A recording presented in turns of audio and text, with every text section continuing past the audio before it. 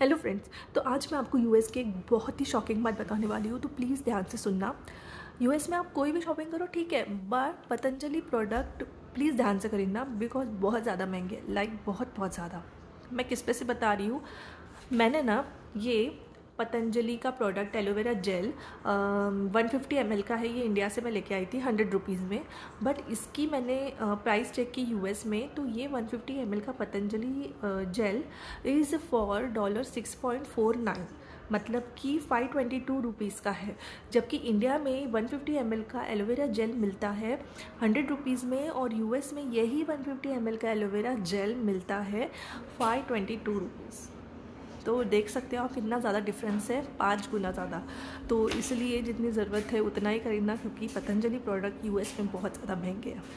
Thank you for watching and do subscribe